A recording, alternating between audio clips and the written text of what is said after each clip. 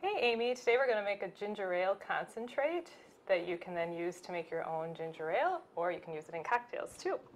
To get started we make a simple syrup using two cups of water and one cup of raw sugar.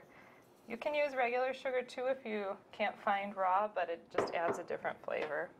And then one cup of sliced ginger and a handful of lavender. We bring this to a boil and let it simmer for 15 to 20 minutes.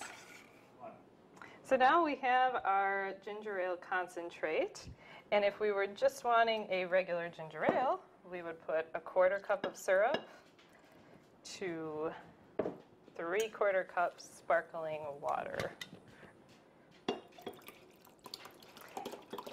And just to make it a little extra fancy, you can put in a sprig of your lavender and a wedge of lime. There's our ginger ale.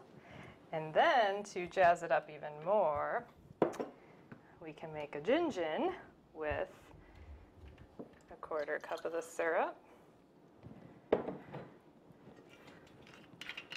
a quarter cup gin,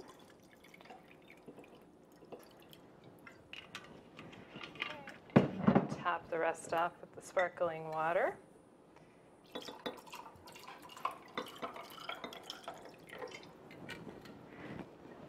Sprig of lavender, slice of ginger, and this we took out of the simple syrup, so it's already infused with the flavors, and just a wedge of lime. So you have your ginger ale and your ginger ale with gin.